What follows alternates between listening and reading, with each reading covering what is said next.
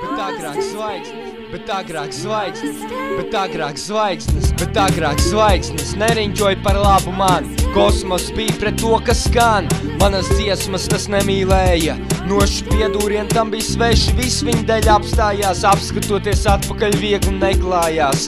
Svara zīmē oktobra mēnesī, saule pastāvīgi pazūd debesīs, gan dabas parādībās, gan arī prāta darbībās. Nespēsi saredzēt neko labu, vienīgi vienu augsti saldējošu ledu.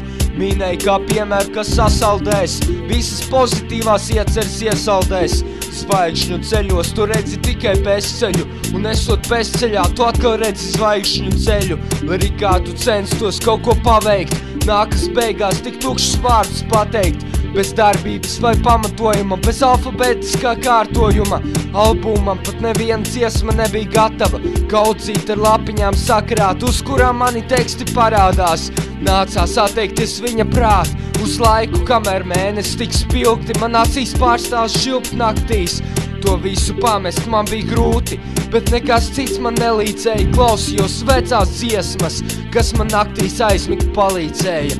Gaidīju, kad tas laiks pienāks Tas laiks, kad kaut kas pašam arī sanāks. Likās, ka tas vēl viss ir aiz kalniem Un velti cenos pēc mērķiem tāliem. Bet te nesen vakarā domādams sapratu Ka labais laiks ap sevi vijās atnākdams Un lai arī kādas būtu zvaigznes Kas notiek ar tevi iespaido tu pats. Un lai arī kādas būtu zvaigznes Kas notiek ar tevi Iespaido tu pats. Un lai arī kādas būtu zvaigznes.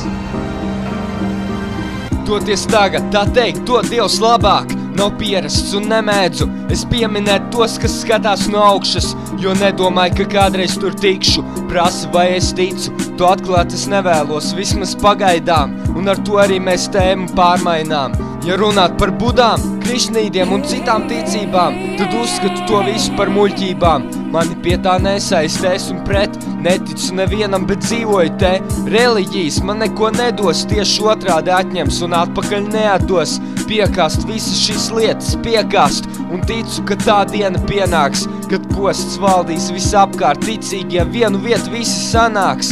Sapratīs, ka ir bezspēcīgi savā būtībā Tie nespēs neko ietekmēt šajās grūtībās. Patiesība Lodi ir spēcīgāk par garīgo cilvēku. Nav tiesa, nepiekrīt, atbalsti ticību Bet grib redzēt jūsu sejas Kad svētais nostāsies pretīm 4-7 ākā Viss taps skaidrs, līdz lodi iorpsies Tam dziļi, dziļi galvas kausā Ar to es gribēju pateikt vienu, lai arī cik daudz tu būtu salasījies grāmatas gudrās, tas tev neko nedos briesmu pilnās liktenīgās stundās.